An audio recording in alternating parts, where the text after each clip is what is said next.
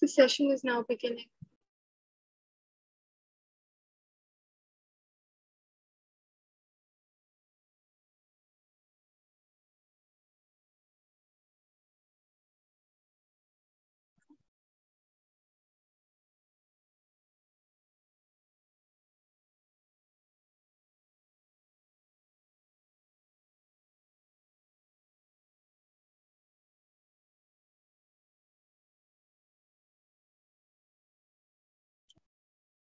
Um,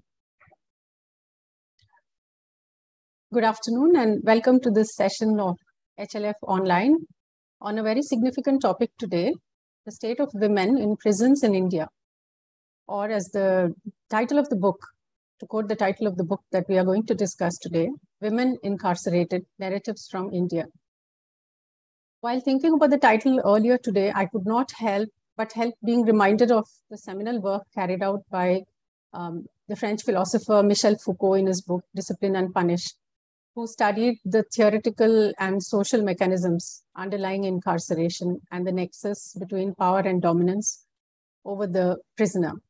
When these elements are transposed into an Indian context and concerns women prisoners, one can only imagine the forms and new meanings taken by each of these terms, given the additional burdens carried by women from society and their own families. So what happens to these women, women prisoners while they are in jail and when they are out of it? These are some of the questions that arise in my mind and to which we will find some answers in the discussion um, that we are going to have today. Leading the conversation are the authors of the book, Mahua Bandyopadhyay and Rimple Mehta. Mahua Bandyopadhyay is a social anthropologist studying varied manifestations and experiences of the carceral mesh in contemporary urban society. Her work is situated at the intersections of the sociology of organization, organizations, law, crime and punishment, gender and masculinities. She teaches at the Department of Humanities and Social Sciences, IIT Delhi. Rimple Mehta is an associate dean and lecturer at the School of Social Sciences, Western Sydney University. She has previously worked at the School of Social Work, Tata Institute of Social Sciences, Mumbai, and School of Women's Studies, Jadavpur University, Kolkata. Her research and field engagements broadly focus on women in prison, refugee women, and human trafficking. And she engages with questions of border, citizenship, and criminology of mobility. In conversation with the authors is someone who needs no introduction, but it gives me great pleasure just the same to introduce her it is difficult to resume her work in the field of justice and women's empowerment, but in brief, Kalpana Kannabiran is Distinguished Professor, Council for Social Development, New Delhi. A sociologist and legal scholar based in Hyderabad, she works and writes in the area of gender studies, human rights, the law, constitution, indigenous rights, pluralism, among others. She has been a freelance human rights columnist since 2000 and has received many awards and achievements. I'm sure we are all eager to know more about the subject. So without any further ado, let us move into it. I will return at the end of around 45 to 50 minutes to field any questions or comments from the audience. So over to you, Kalpana. Thank you, Uma, and uh, thank you, uh, HLF, for this uh, invitation and for organizing this session at such an opportune time. Uh, before I begin to uh, comment on the book, uh, I would like to request uh, the editors uh, to hold up the copy of the book uh, so that our viewers may actually be able to see it. Thank you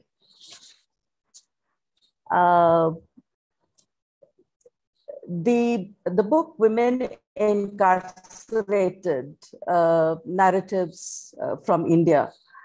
Uh, comes i think at a very opportune time.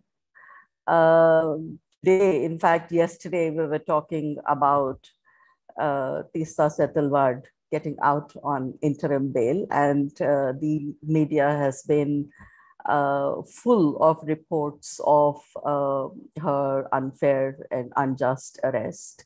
Uh, we also had the uh, of uh, Bharadwaj uh, some uh, time ago. And then we see the other side of it, which is the remission granted to the men convicted of raping and murdering uh, Bilkis Banu and her family. Uh, and uh, the consternation around uh, remission, uh, around early remission, remission as a gift on the 75th year of Indian independence.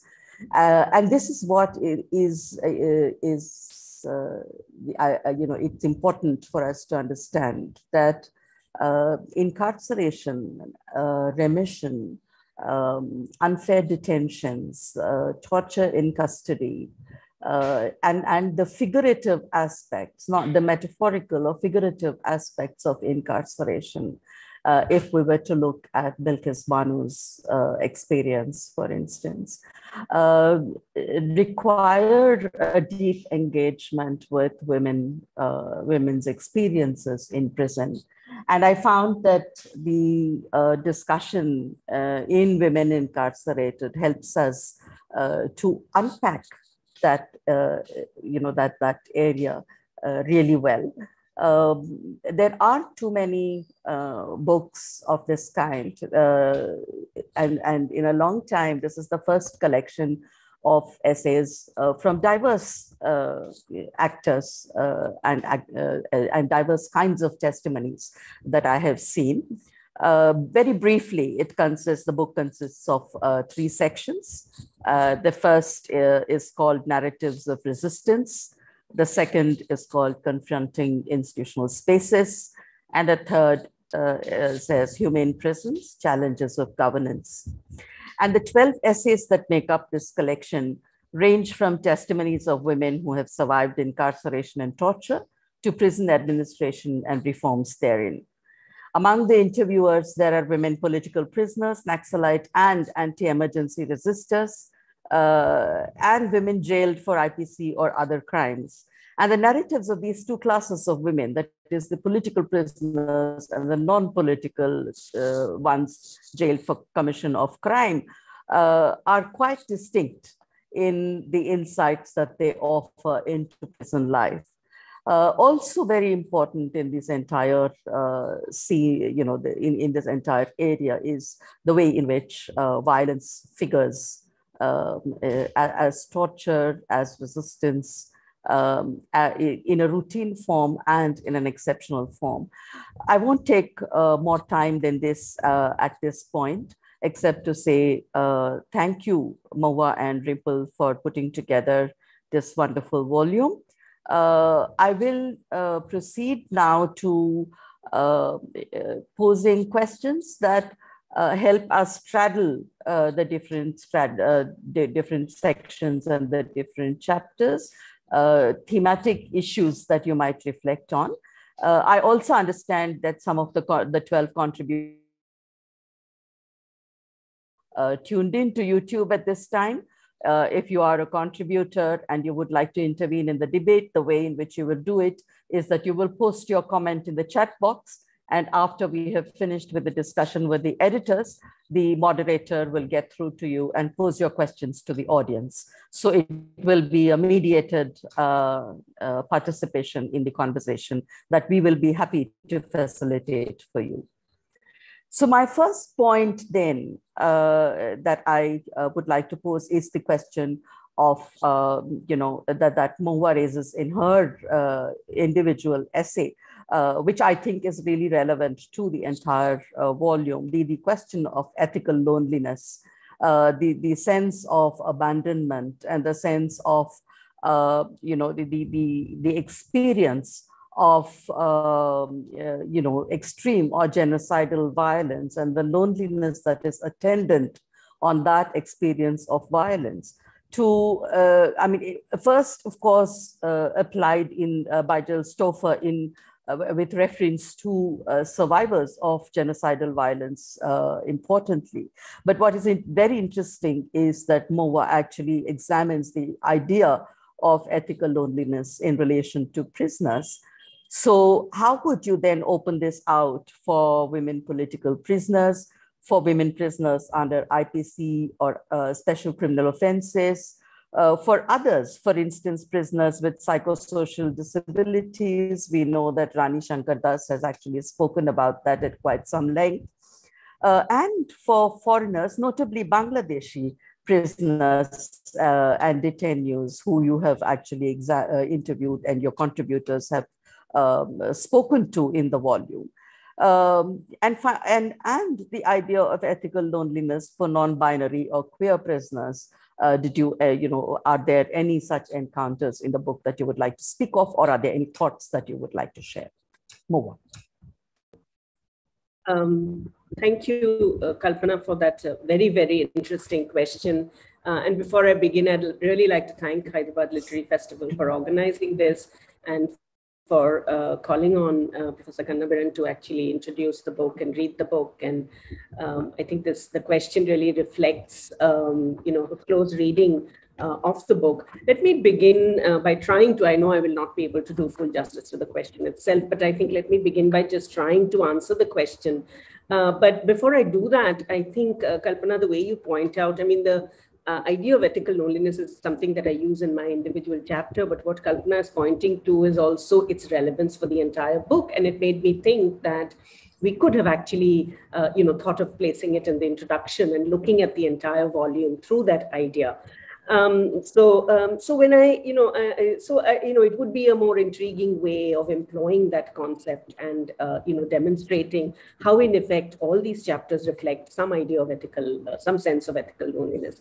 Uh, now, Stauffer actually, just to say a few words about the concept, Stauffer actually uses this phrase to describe, uh, as you said, the desolation, isolation, and abandonment that is felt by the marginalized and the unheard. In this case, the victims of torture, and in her case, the victims of torture and, uh, and genocidal war, and etc. So, um, so it signifies uh, for her. It signifies the many ethical breaches on our part. You know, the, those who have the ability to listen and those who hold that kind of power of uh, the potentialities of other lives we are, you know, in a sense, we are trusted with this act of uh, listening and the responsibility lies on us to then, which, which is what Stauffer is saying, the responsibility lies on us to listen and to hear well. Um, and the ethical lapse occurs when we choose not to hear or when we hear and repress what is actually being said, when we hear and redirect the narrative, God knows that's happening all the time now, or we hear through the lens and framework of our own needs, desires, aspirations, disciplines, ideologies.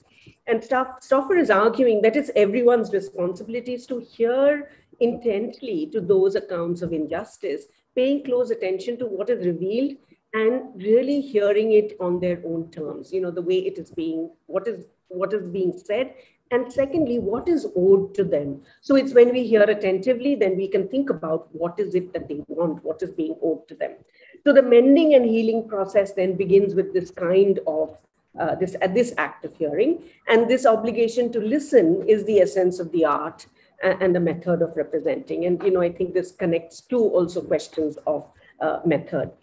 And uh, we hope that the book actually will mark a beginning in this because, as you said, I think all the chapters in some way or the other is trying to reveal uh, a voice uh, that has not been represented or and, and again when i say a voice i don't mean the appropriation of the voice but in terms of trying to uh, bring it out so let me give a quick example here for one from one of the later essays in the book, which is from the section on governance, uh, which is by Upneet Lalli, where she reviews the material conditions in prisons and their impact on the lives of women prisoners.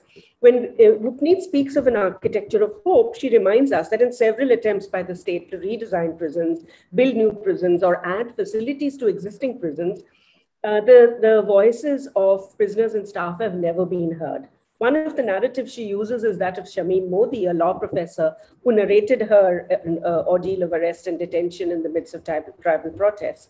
She recalled her prison experience by saying, There is often so much abuse that you don't feel human. It can make you forget you ever had rights. These few words, I think, are extremely powerful. They don't really, really describe the horrors in any detail whatsoever. Yet, in these words, left unto themselves, they have the capacity to evoke those horrors for all of us. In a similar vein, Uma Chakravarti's essay, this act of listening and drawing out our responsibility to listen is, is uh, important and is experienced through these words. The cell was shared by another young woman, and this, she's talking about Rajashri, you know, one of the prisoners uh, during the, um, you know, during the Naxal movement. Uh, the cell was shared by another young woman who had been booked for allegedly stealing her mistress's necklace. The young woman could not understand why Rajashri was being beaten. She had never heard of the Naxalites or the revolution, but she was shocked to see what the police had done to Rajashri. She would hold Rajashri in her arms each night, lulling her to sleep, covering her bruised body with her unstinting love. It was this love, this humanness, that, that sustained Rajashri and made her resolve that come what may, she would not become insane. The police could not break her spirit. She was going to live. She was going to let the torturers, she was not going to let the torturers break her spirit.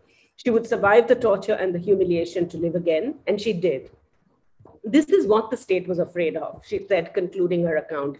It could not break her spirit or the spirit of others in prison with her. It was that innermost part of their selves that the state could not destroy. This is from Uma's uh, essay. So here what we see is that there are levels of hearing attentively and sensitively, uh, which are manifest here. First is Rajashri's cellmate, who hears without Rajashri speaking or articulating her pains explicitly. Uma's act of listening to Rajashri's experience of torture and imprisonment, and then our act of listening to the multiple layers in these stories. They hold an inexpressible capacity to feel, experience, and understand the desolation and dehumanization of prisoner bodies through practices of the state institutions. So these are the narratives which are included in the book and, uh, you know, with the hope that the institutions will also begin to hear some of these uh, narratives. Uh, if I have, do I have time to just go, go into one other uh, thing? You have three uh, minutes. Yeah. How many? Two, three minutes? Three, three minutes, yeah.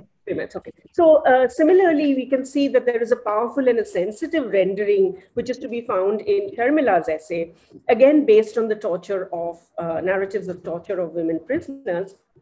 And here, again, we, you know, I'm going to focus not on the violence, but on survival. And Sharmila's essay stands testimony to torture, again, not through descriptions of torture, but through the powerful attempts at survival, which is part of the narratives that she uses in her essay. In her words, surviving torture is not premised upon heroism or exemplary strength, as the torturer claims power over the victim's entire being. The point is to reclaim the mind, if not the body, through strategies of survival. The will to live instructs the survivors need to know the unknowable. Sharmila's essay, therefore, marks a sensitive listening of Malaya, Malaya Ghosh's account of torture in Lal Bazar police station. She senses that for Ghosh, memory is one of the key anchors that she uses for surviving torture. remembering her life in her natal home transports her to other worlds. But Sharmila reminds us that memory also serves the function of unmasking the torturers in Ghosh's telling. Again, I quote, her reflections help her to recognize how the erosion of rights by the police was hastened under the Congress regime of the 70s. As a political prisoner observer, she used rhetorical questions to unmask the torturers. Within a couple of, this is Malaya Ghosh speaking, within a couple of hours, they've killed millions of living cells in my body. On whose authority, she asks. But why? Am I antisocial or a politico or a regular citizen? What category or classification do I fit in? No matter which category I belong to, where it is said that the state has the power to attack and wound me in various parts of my body. Finally, just two, uh, a couple of words on uh, the, in, the experience of non-binary uh, um, and gender non-conforming persons. And I think this is one of the glaring omissions in the book because we don't have any narratives from non-binary persons. Uh, but I think that um, something needs to be said here. Subsequently, uh, I've uh, begun work on trying to, again, mine some of these narratives. There are some reports, there's a CHRI report, uh, and there are a lot of news items which are actually bringing out some of the narratives uh, of uh, trans persons and non-binary persons in prisons. Uh, but uh, in what I'm writing, I think there are two aspects that I want to focus on. One is how the everyday practices of passing through these institutions of the criminal justice system enfold aspects of torture and brutality for trans persons and non-binary persons. But secondly, in order to conceptualize these experiences in the prison and police lockup and other sites of confinement, we need to go beyond to uncover the experience of, of unfreedom in other institutions as well, whether it's in the data or in the family or in the educational institution, the workplace, accessing you know healthcare in hospitals and clinics. So there is a larger sort of narrative of unfreedom and constraint which is a part of these uh, of the lives of non-binary persons. So um, so i think yes thank you for that uh, you know pointing to uh, also the uh, aspect of uh, looking at the non-binary in the context of ethical uh, loneliness. So i think i'll end here and if there are other questions we can take it up later. Thank you very much, uh, We, uh, my next uh, you know, uh, theme for uh, reflection also draws on the experience of um, incarceration or the documentation around incarceration during the pandemic. Um, for instance, Pratiksha Bakshi and uh, Navsharan Singh uh, had looked at uh, figures of prisoners and release of women prisoners particularly um, and and uh, you know uh, raised uh, questions of um, uh, what are the different ways in which uh, incarceration is gendered uh, and, and how does this sit unevenly on women? And this is a theme that comes through very strongly in your book. I therefore go to a very, very, um, you know, thickly gendered uh, aspect of the discourse, which is the framework of reproductive justice. Uh, several of your essays, uh, as well as in your introduction uh, and in your intervention just now, in your response just now, Mahua, you've spoken about uh, torture, about uh, bodily integrity and autonomy, about also about sexual humiliation, not just sexual assault, but sexual humiliation and sexual violence. Uh, and also about family abandonment, um, you know, and, and fam family oppressions. Uh, you know, when I saw the uh, convicts uh, who got uh, remission outside being greeted so warmly by families, I couldn't but help think of the cases of women in, in, in prisons who face a sense of abandonment within, but also face a sense of abandonment when they come out. So the question of family abandonment sits very, very strongly. And there are a couple of narratives that reflect on uh, uh, childlessness, uh, you know, or the, the stigmatizing of barrenness of uh, married women, uh, but also on motherhood. And so I wondered whether you could reflect on the insights that the volume offers uh, through the lens of reproductive justice uh, on the violence of incarceration and its interconnections with specifically gendered analysis of reproductive justice. Rimple? Thank you. I'll also start by extending my gratitude to Hyderabad Literary Festival for organizing this uh, session and also, thank you very much, Professor Kannabiran, for really bringing out the best from the book and helping us think through all of these ideas.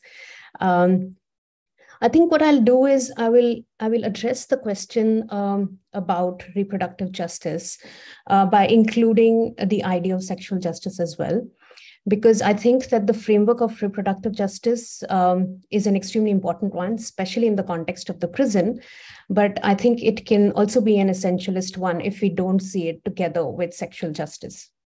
And I and I say this based on um, you know the diversity of perspectives that have emerged not only from the different chapters in the book, but also my experiences of working with women and what they have shared with me where they have explicitly challenged the idea of um, you know their rep- reproductive roles in society.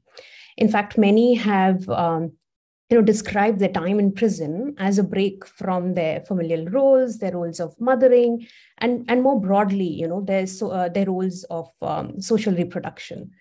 Um, having said that i think uh, in the book uh, the narratives of uh, Snehalata Reddy and uh, Koteswaramma in uh, Uma Chakravarti's chapter really show us the you know the pains of separation from their children and the and the deep impact that it has on their uh, lives and their time in uh, prison. Now, Uh, in terms of the prison conditions, the practices and availability of resources, the situation of uh, mothers and children in uh, prisons in India, I think uh, Madhurima Dhanuka and Upneet Lalli uh, talk about it uh, at great length, specifically with regard to um, the, the international um, uh, guidelines or even at the national level, what's, uh, what's been discussed. So the issue of pregnant women, uh, you know, mothering in prison, mothering of children who are not with them in prison is, is a crucial one when we're thinking of reproductive justice. Um, but in addition to this, I'd also like us to think about uh, women's right to self determination with regard to aborting a pregnancy while they're in prisons. What, you know, what are the services and options available to them? Who can they speak with um, so that, you know, without any risk of being stigmatized or judged for the decision that they want to make uh, with regard to their pregnancy? And I think there's um, also the question of you know the construction of like you said of, of barrenness and the construction of the idea of motherhood which have often paved uh, you know way for uh, women's pathways to the prison. And uh, we see examples of, of these narratives and these stories in uh, Penelope Tong and uh, Shirin Sadiq's paper um, very, very clearly. And uh, Shirin talks about uh, cases where women have been pushed to, um, you know, taking very drastic measures, even such as uh, sacrificing other people's children to be able to bear their own child, uh, else they would have been abandoned by their marital family. And um, Penelope discusses, you know, the poignant narratives of women who are in prison for killing their children. And their pathways to the prison have been shaped by their experiences of uh, you know violence abandonment uh, by family or ec- economic deprivation or or isolation. So and i think the other question that comes with the reproductive justice framework is is as we were discussing uh, earlier is that of you know bodily integrity and I think this is where we really need to tie the idea with our understanding of uh, sexual justice. Uh, because prison space is designed in a way that there is no space for women to express their bodily desires. Um, and the young women from Bangladesh who I met in prison and who have primarily been the women that I have done uh, work with in prisons, they categorically um, they told me that you know they, they had sexual desires as young women and this the world needs to know this. And then you you let the world know that that we are here young women and we have all of these desires but no no way to express or experience uh, these desires. So so they shared the ways in which uh, you know they established relationships with men and women in prison in court spaces and you know how how they lived the idea of uh, love and they labored hard and negotiated you know ways to find love in their lives and you know express their bodily desires. Um, but these desires also had to be constantly invisibilized in that highly controlled and disciplined and surveilled space of the prison. And um, you know kanupriya's cha- chapter also talks about women's desires to get into relationships of love. So all of these narratives of um, you know love and desire need to be seen um, in the context of the threat of you know sexual humiliation. Um, or there is like always this lurking fear that you know what if i express my desires? What if i dress in a particular way? Will that be used as a justification for sexual violence within the prison then so, and the last point that you know I want to make about this is that um, is that of how we see bodies within institutions, uh, especially bodies which are in transition or bodies which do not fit into gender binaries, menstruating bodies, pregnant bodies, disabled bodies, you know, Dalit bodies, Muslim bodies, tribal bodies. How are we seeing all of these uh, different bodies within that space? And it is absolutely imperative that you know we understand the experiences of these different bodies and the gender based violence that is you know inflicted on them based of on their different intersecting identities. And and you know you're going back to the question of you know our ethical uh, responsibility that we were discussing earlier. And i think this will only happen when we you know dismantle our understanding of purity and impurity safety and security, because these are the ideas based on which we justify the idea of punishment on some bodies. And as a society, we've come to an agreement that these are some bodies that can be kept in abeyance and they can be in prison. So I think um, if we look at it more broadly, it is really the idea of reproductive and sexual justice that need to be looked at together to understand the experiences of these diverse bodies within prison and, and the kind of impact that it has uh, on their life, not only while they're in prison, but but I think it also has an intergenerational impact and it, it, it translates into different aspects of their life within um, you know the community more broadly. Uh, thanks for that uh, opening out, uh, Rimple. And I think that uh, it's it is really important to um, uh, link reproductive justice uh, to sexual justice, and and to also understand that the women that we are speaking about and the women that we are speaking to, and the women that we are representing are not merely in incarceration, but they're also women with, with desires uh, and, and uh, with uh, aspirations uh, for a life uh, that is uh, free in every sense of the term.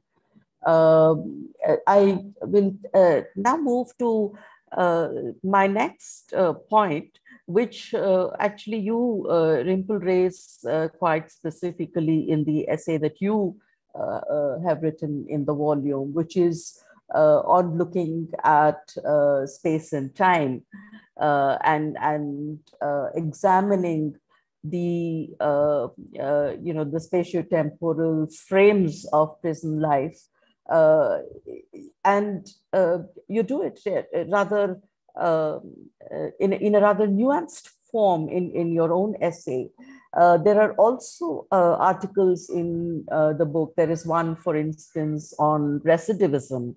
And, uh, you know, so I, and, and also when you speak about uh, ethical loneliness, uh, you know, I'm, I'm you, how are space and time implicated in the narratives across the volume?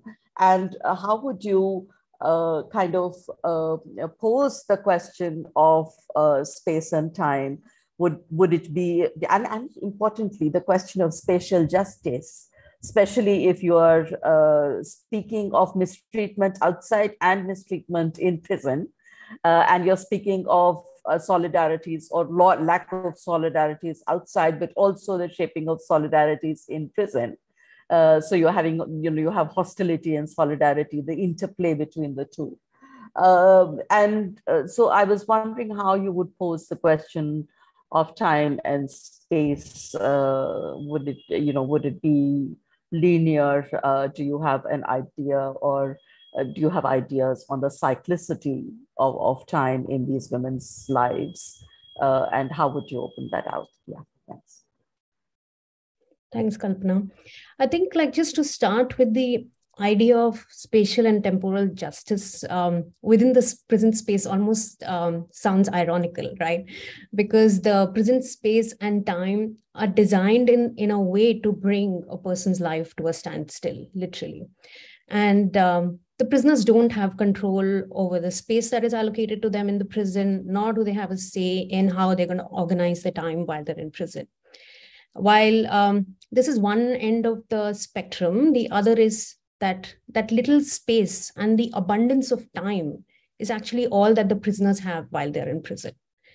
Um, and this abundance of time can often also be very disorienting because it can lead to a sense of timelessness where the pre-prison life and the life after prison almost almost move out of focus. It's something that they they sometimes almost lose uh, memory of like what was my life before and you know what am i going to do after? That's that's something that i'm not even being able to imagine because of of where i am right now.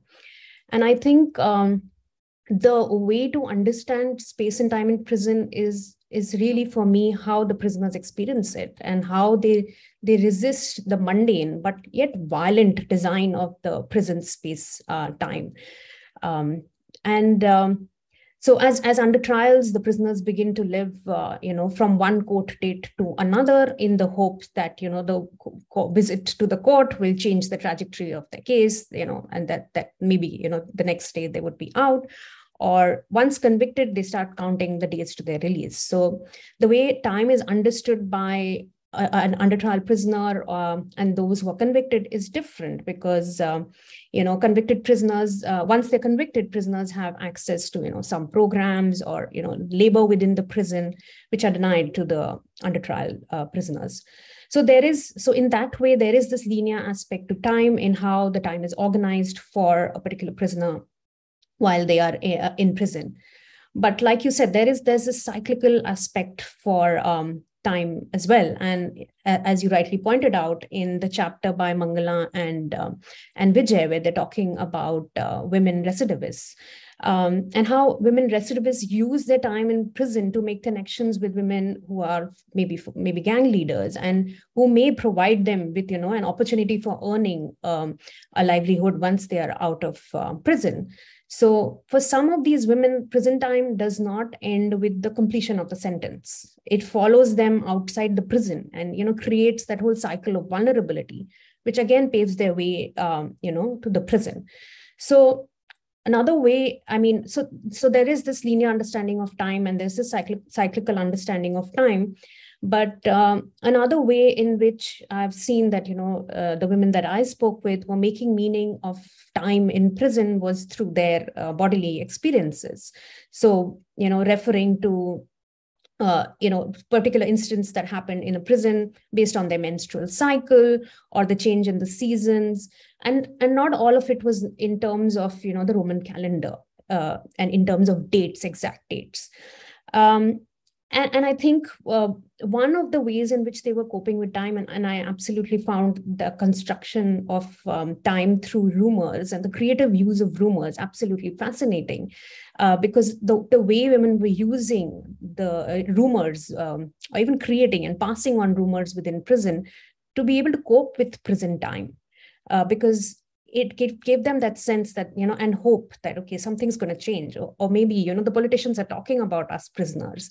And in the case of the bangladeshi women they would say that oh we just heard that you know this is there's going to be a truck and we're all going to be sent back. And and it was the same rumor that was going around. And it almost you know was made out in a way that um, you know the the, the polit- political uh, discussion is literally around us you know.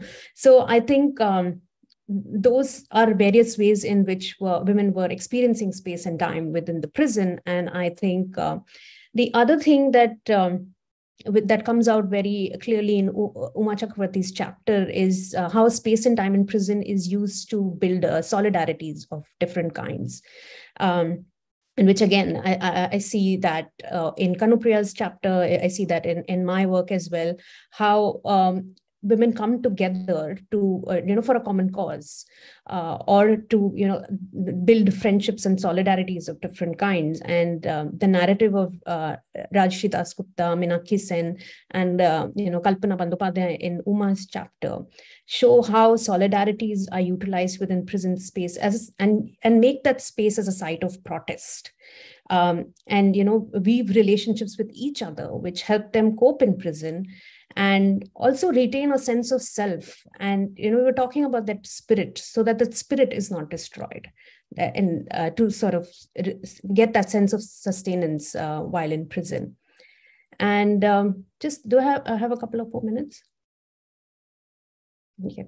Um, and I think the gender segregation of uh, prison spaces has just been discussed in almost every chapter um, in the book, and especially Sadaf and, and my chapter, as you pointed out. And uh, the women's prison are often like a ward within the larger uh, prison, you know, which has essentially been designed for uh, men. And uh, like Sadaf talks in her chapter about, uh, you know, prisons where women occupy the topmost floor of a building while the rest of the floors are occupied by men. And due to the rules around gender segregation, this means that women are not allowed to access, you know, different parts of the uh, prison space apart from their floor or just their ward. So spaces are therefore uh, not only segregated, but they are also uh, gendered in terms of how they are used. And I think the use of space um, is not only gendered, but it intersects with caste and uh, class um, in many, many ways. Uh, but there are also, apart from the use of the space and the construction of the space, it's also how bodies are expected to perform in that space and the gendered expectations uh, around how how you dress. And uh, Sadaf actually it, uh, refers to, to uh, an imagery in her chapter where she says that women were going to collect uh, food and um, they didn't have an orna or a dupatta and they were asked to get one. And they immediately uh, cover their breasts with, with either a bowl or a plate. Um, and um, so these you know these ways in which the women are expected to perform their gendered identity and to adhere to the norms of dressing based on uh, you know what is considered honorable and what is not. So I, will just close with saying that uh, we really need to think about you know this idea of um, spatial justice and how violence exists in different spaces uh, that women inhabit outside the prison. And some of this mahua was discussing when she was talking about ethical loneliness. Um, because the continuity of violence in the different spaces across um, women's lives often lead women to say that pr- prison is probably a safer space for me to be in. And uh, we need to address questions of you know women's experiences of exclusion social isolation violence across these different spaces as well as the inequities and access to these uh, spaces. So you know like for the for the law abiding and the law making citizen the idea of security is ensured through the creation of the prison.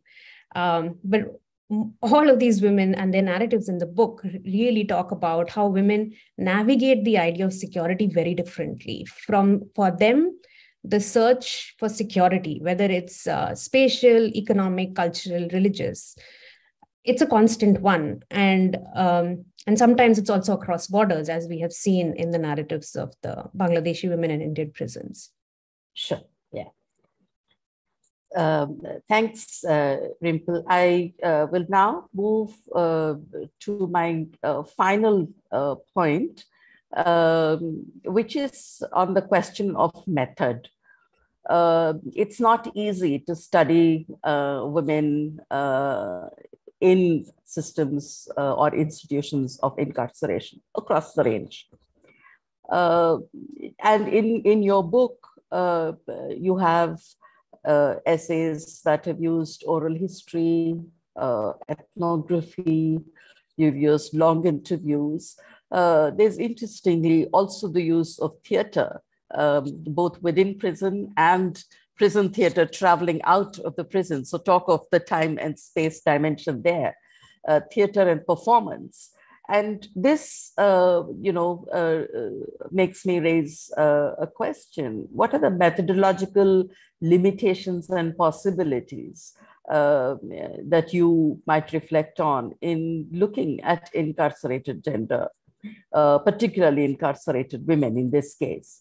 Uh, moving performance and perform, uh, performativity beyond prison theater to the enactment of testimony and solidarity, if you like. So there is performance uh, and, uh, uh, you know, the, the, the, performance of various, um, uh, various kinds of performance with various kinds of meanings. So if theater is liberating, so is solidarity uh, and there is, you know, there are very moving, um, you know, uh, accounts of the uh, development and growth of solidarities between unknown prisoners within uh, the prisons that you talk about. And since your essays do speak about the ways in which uh, representations uh, move beyond the personal, and of the ways in which solidarities actually enable speech and life, a sense of purpose uh, even if one might say that within walls. Uh, I was wondering if uh, one of you could reflect uh, on the question of method. Uh, and this will be uh, my last question in this discussion.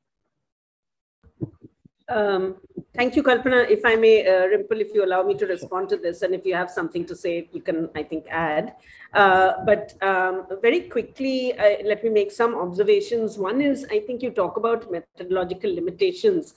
Uh, you know, the overwhelming limitation is one of access. And we can yes. think of access in terms of physical as well as social, because it is one thing to access, you know, to actually have access to a prison uh, and to a, you know, and then to to actually have access to speak, to be able to speak freely. Um, I think most of us who have done any kind of research on prisons, you know, you're always, you know, there is always somebody tagging along with you to hear what you are, what is being said, to hear what is being discussed.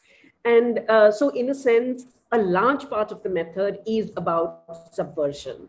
Um, and you know is about learning to subvert and i think that um, when you think about performance then i think this is the performance that we do as um, in terms of the method. And but we learn this interestingly from the narratives of prisoners. Uh, we learn this because of what prisoners are doing and, and their survival strategies. Um, so, so yes, as as you rightly point point out, subversion and solidarities, building solidarities, are the key to finding the prison and understanding the prison. Uh, and uh, we could think of them as um, uh, very sort of uh, specifically in terms of how we rework. If I think of ethnography, I can think of it as how I rework the method to enable uh, um, uh, you know access. but I think what is also interesting is you know that we are writing, we, we, we are using, and that's why you know we put the title as narratives, because in academia as well as outside, uh, and especially in social science disciplines, the use of narratives, testimony, performativity uh, involved in storytelling, all of this is marked with tremendous distrust. And, you know, they're, they're ridden with vexed questions of, uh, you know, truth and validity, you know, so questions like, well, how will you do comparative studies? How would you generalize on the basis of just one prison, on the basis of one narrative and so on? These are questions we encounter all the time. And on the face of it, what it does is that it undermines the wealth of data and information that is present even in this one narrative you know so um, uh, and and uh, so in addition when we begin to say that if we begin to say that it's performative which is what, what you know you're pointing to and i fully agree with you uh, i think that the you know uh, in terms of um, in terms of the larger validity of what we have done really sort of in some senses falls through for many people um, you know, if I just if I think about you know what happened with Stan Swamy, um, you know, it, it, you know, and the denial of this kind of straw, the denial of books, it, it's this kind of what are you saying? You're saying that even a straw cannot pass through. Mm. So how do I even dare ask for permission to go to the prison? You know, I dare not because if a straw cannot go, surely I cannot. So I think that, uh, but on the other hand, when we think of these narratives, testimony, and ethnography, uh, I think they have the they have the potential to challenge dominant ways of seeing. Uh, and when I say dominant ways of thinking, of course, I'm referring to the status perceptions and views of what the prison is and what the prison should be. Uh, but I think they also uh, help us to re-examine how existing discourses are being re- are being appropriated. I mean, take for example the perspective of human rights. I think you know from a status point of view, it is a discourse that is con- constantly appropriated to pre- present the yeah. prison in a particular light. Uh, yes. So I think narratives have the power to disrupt that. And when you say performative, performativity of storytelling, both the performativity of the storyteller, because when we go into prisons, uh, I hope you know we we are trying to tell the story. We're trying to tell the story of a prison. We're trying to tell a story about why we want to research the prison. Um, so so all of this becomes part of um, actually disrupting what is going on with regard to the prison and to these sites of confinement and the ways in which they are invisibilized. So every time a researcher goes into prison, um, actually we have managed to do that, you know, a narrative has managed to do the work of convincing. Uh, and I think that itself can be uh, very powerful. Um, and then finally, I think this issue of, well, what can these narratives, you know, there's how, how, what can uh, solidarities and the narratives of solidarity tell us about uh, both about the prison as well as about our method? I think that is uh, really a, an interesting question. I don't think that has been explored uh, very well in our wall in our book. Uh, and your questions make me think that there should have been another chapter on method, you know, which actually uh, you know fundamentally dealt with the method that and again so you if you look at the book it's uh, they all rely on a mix of different kinds of things, right? Testimony, which we are, you know, we are sort of grabbing at little news reports, grabbing at small interviews, uh, you know, your first person account. So all of this is put together. So it's a kind of bricolage. The book itself is a kind of uses that uh, bricolage to put across uh, you know what what the prison represents and i think whenever we study the prison it has to be this it has to be a piecing together from various kinds of fragments so when you begin to ask questions of well is this valid and is this going to work? I think it it just dismantles uh, the kind of work that is necessary to do to build to make this to present this kind of story. Uh, i'll end here but maybe rimple has something to add. Rimple would you like to add to that? Yeah just very briefly um, yeah. that i think what is integral to um, the methods of working in prison is the ability and the openness to take risks because i think there is so much risk involved in uh, you going in in terms of your own bodily integrity your safety not only while you're in the prison but what you write later what you're doing outside.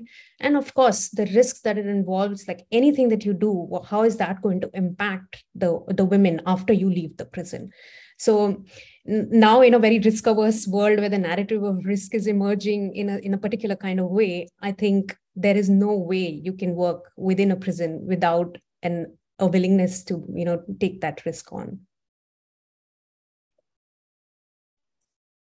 Um, thank you. I think uh, you know it's been uh, a, re- a, really uh, illuminating uh, discussion. And um, you know i mean i, I think also the questions, uh, I mean, the discussions around the questions and, and the reflection that we've managed to uh, have today uh, have, uh, for me, uh, uh, opened out pathways to extend your work further. So, in a sense, there's not very much before you uh, wrote this book or before you put this book, book together. And uh, there is uh, a lot uh, that this book opens out pathways to. So in that sense, I think uh, this has been, um, you know, a really very, very, uh, uh, uh you know, a, a productive um, endeavor. Uh, and congratulations. I think, I think it's been a great job. And thank you very much. Over to you, Uma. Yeah. Thank you so much. Um, Mahua, Rimple, Professor Kalpana. Thank you so much for such a thought-provoking and profound discussion on the state of women, but also I think beyond that, you have looked at how the prison itself uh, uh, treats as a structure, treats the, uh, the people who are incarcerated. And you have discussed uh, topics like ethical loneliness and reproductive justice, and gendered spaces, and also through all this, uh, the emergence of solidarity. And uh, what I liked also was the explanation of your methodology. I mean, um, the one cannot deny that a qualitative approach of research uh, really brings out a lot of nuances uh, of the system which exists, which is really difficult to bring out in a uh, you know prosaic um, quantitative kind of thing. And what really strikes me was also that the resilience, I think, which has come across uh, which have been shown by these women uh, who have undergone torture, who have, uh, you know, who have no one to talk to, um, the lack of space, the, the loss of the sense of time, which I think is really, um, you know, very, I mean, where do they draw these resources from? So is it out of desperation? Is it, uh, is there any kind of support structure around them which allows them to uh, you know, look at focus on the light at the end of the tunnel? Is there any response you might have to that or?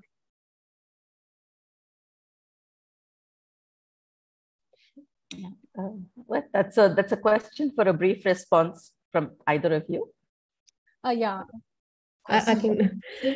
I think uh, what it shows us is really the inability of the institutions to break spirits of these women. I think that's what it shows us because in in in in the circumstances where they have no familial support, very very li- little support from any kind of relationships outside, it's the relationships that they build within prison which help them sustain themselves. So so those are the two things that you know that the the spirit to move on and whether we go in as researchers or you know whether we go on as as social workers they continue to you know fight that fight and resist. So i think it's it's really the spirit and the kind of solidarities that they build in within prison i think. Mm. yeah. would you like to add to that mahua or?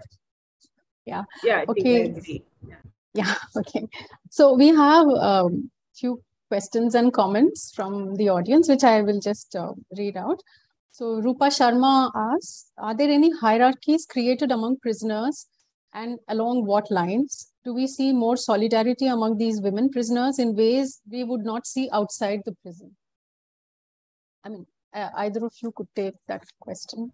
Uh, yeah, I can I can respond to that. Uh, yes, I think uh, there are several kinds of uh, hierarchies that we will uh, in that we see in prisons. I mean, among if I just talk about the women prisoners, um, you know, some of it could be along the lines of crime. And, you know, our present, presentation of solidarities and resilience does not mean that there is no conflict and that, that it's, it's a, you know, it's a space that is all harmonious um, there is tremendous conflict among different groups of prisoners. Some of this, as I said, could be on the basis of hierarchies which are along the lines of the kinds of crime they have been accused of or convicted of, and they're there for.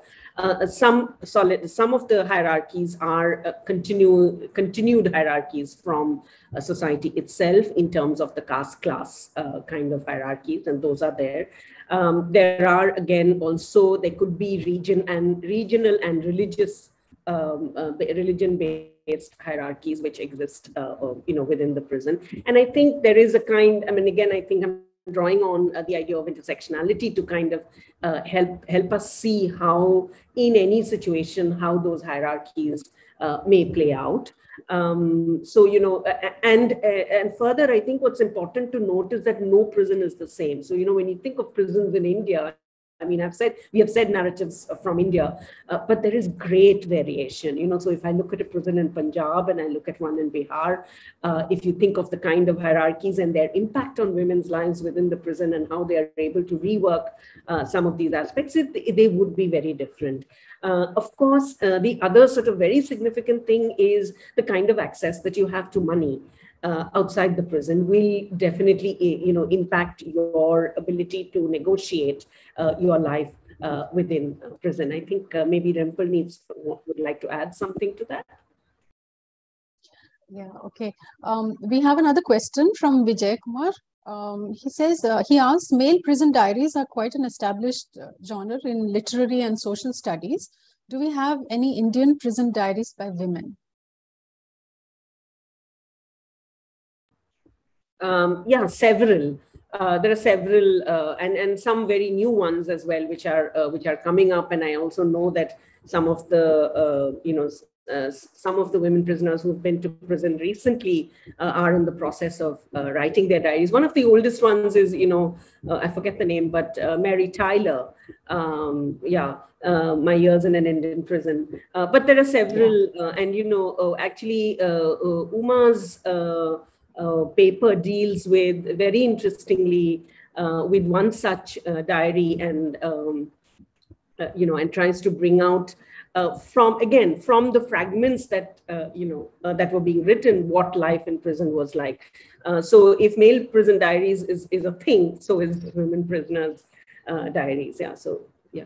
Uh, Rimple, do you want to add to that? Yeah i think um, it, the male prison diaries is a thing like ev- everything that is masculine becomes a thing and and and uh, uma talks about this in her chapter um, where she talks about the film Bandini and uh, why it's so difficult for um, hindi films to have uh, the hero uh, you know as the, fem- the female figure as the hero and how um, uh, Nutan just remains as you know the the woman prisoner in that film, uh, and and she, she, there are instances of uh, you know women's diaries that she talks about in her chapter, and and some of them are really in fragments which have probably been completed later, uh, but specifically, you know, what Snehalata Reddy writes when she's in prison. And it's the fragments that, you know, Uma then um, is also analyzing in her chapter. So there are various instances of that. Okay. Um, we have a last question by Ramakrishna Dulam. What are the mechanisms available in prisons for the mental health of women prisoners as their mental health is affected greatly on a negative spiral?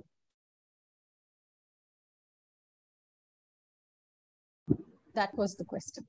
Yeah. Do you want, you want would you like to take that? Um, yeah, I can just say that it's a good question, and I think mental health is something that uh, even as, as as a society outside prison, we are still uh, grappling with. And um, as far as I know, and when I did fieldwork and whatever the latest information I have, that there is almost little to no mental health services available within the prison, and uh, again, it's ironical because of the deep impact that the prison safe space itself has on people who are within that space. Um, so I would say, no, this is not something that is taken into consideration or is even anywhere in the priority list of what should be offered to prisoners. For many either, I suppose. Yeah. Hmm. Yeah, there is, uh, you know, in many prisons. Again, I'm just talking from my field was experience. There, there in in Bengal, definitely there was the uh, post of the welfare officer. So the understanding was that the welfare officer, who would be somebody who is trained in social work discipline and so on, would have the capacity to actually address some of the mental health needs of the prisoners. Uh, but you know, in in practice, actually, you know, the welfare officer was rarely around, and uh, you know, was not somebody essentially trained to uh, really assess and understand the mental health needs. So as Rimple says, there is actually very little uh, thinking that is uh, that is there. And you know, in the late 90s, when I did fieldwork in in Kolkata, they, they still had what is called the non-criminal lunatic ward. Of course, that is not there anymore. Mm. But you know, so all kinds of uh, women would actually be put in that ward, including women uh, who were accused and put in the main female ward. Uh, and if they behaved slightly differently, they would just be transferred to uh, the NCL ward. So the NCL ward became also the space for another kind of disciplining uh, of women prisoners and their bodies and their minds and so on. So and punishment. Yeah. Yeah. Yeah. yeah. yeah. And, and I think this is an area that really, really needs a lot of work because the narratives of the women inform us about the trauma, the multiple trauma that they go through. So hmm. we definitely need to have a trauma-informed approach. And just the idea of having a welfare officer with a psycho broadly psychosocial approach is probably not going to help these women get out of the cycle of incarceration. Uh, there's just another question which has come up by Indu Kumari.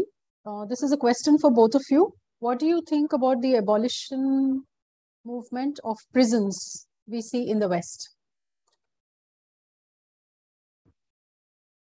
I can I can begin to respond to that. I think um, uh, you know I think that there is a kind of uh, carceral culture which uh, we have now, where um, in some senses you don't need the prison to discipline and punish and so on, and that's very very dangerous because some of the kinds of torture and uh, violence and brutality that we would think would happen only in prisons actually now happens on our streets and uh, you know in our homes and in all kinds of private and other public spaces. Um, so so in that sort of context i think uh, you know there is great value uh, to the abolitionist project. However i think that um, uh, you know, historically and regionally, I think there are certain kinds of specificities that we need to address. I think, you know, the West and the movement towards abolitionism has a particular kind of history. And uh, to import that in the Indian context would be very, very, I, I, would consider that to be very, very problematic.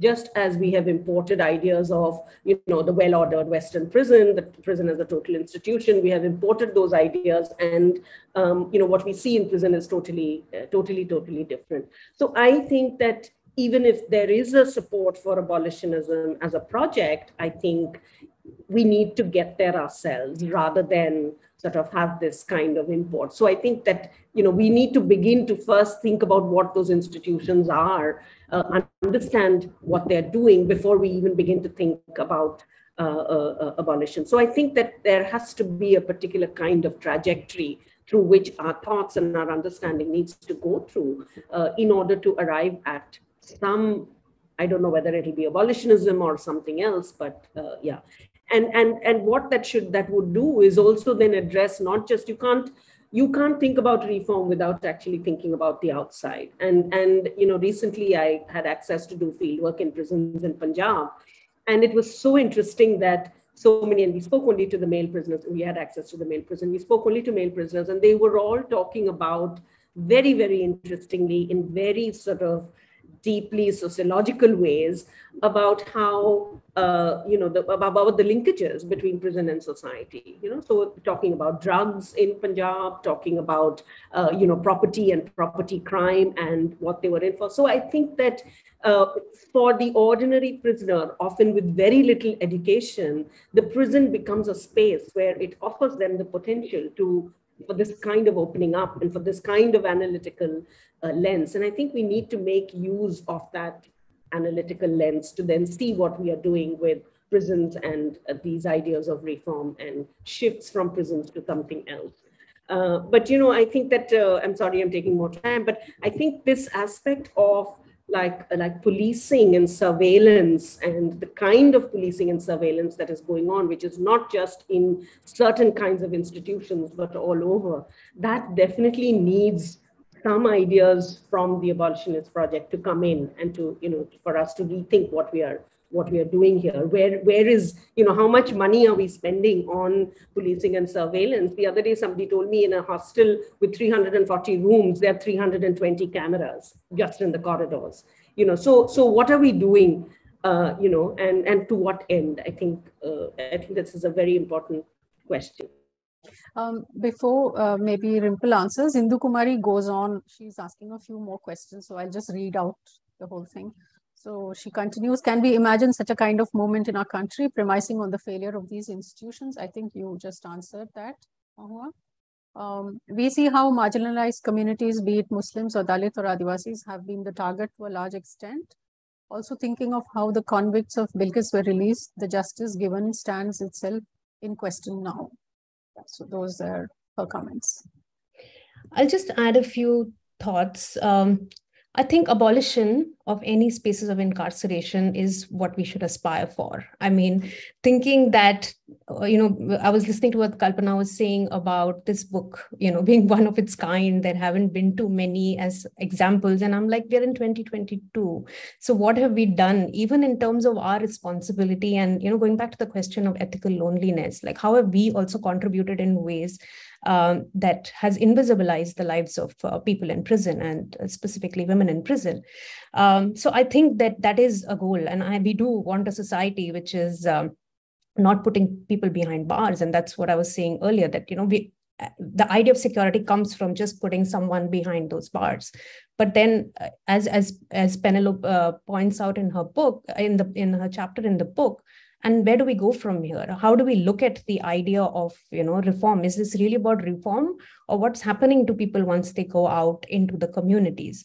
Um, so we are as mahua pointed out we are ready to like invest all of that money. We are ready to uh, you know not create spaces of justice because we are holding on to an idea of punishment. Unless we rupture the idea of punishment we are not going to be able to move towards a better idea of justice. And I think that for me is integral. And I really do hope that in a few years, we don't have to have this panel discussion and that we don't have to write a book, you know, um, about all of these issues, which just seems like, you know, if we just celebrated the 75th uh, independence uh, year. And yeah, so yeah, abolition is the goal, I guess. And we should all have that goal. Yeah. So, um, we have come to the end of the questions. Uh, we can continue actually this conversation. It is so rich and there are so many um, thought-provoking angles to it that I think eh, the more we think about it, the more I think about it, the more questions come to mind. But uh, I think we have reached the end of this format. So I would like to thank you very much, Mahua, Rimple, Professor Kalpana, for this very, very thought-provoking discussion. I hope that such books you know you said why do we have to write this book but i wish i hope that more such narratives would come out And more such stories are brought to the public and probably go into policy making because ultimately, I guess that's where uh, we should be looking at, how to concretely improve um, the lives of uh, these prisoners, be it women or men. So on behalf of HLF, I thank all of you for this thought-provoking discussion. And um, yeah, okay. Kinara also says, thank you, Mahua, Rimple, Kalpana for an interesting session. So yeah, goodbye. Good evening. Thank you. Thank you. And thanks to all the listeners and those who asked the questions. Yeah. Thank you.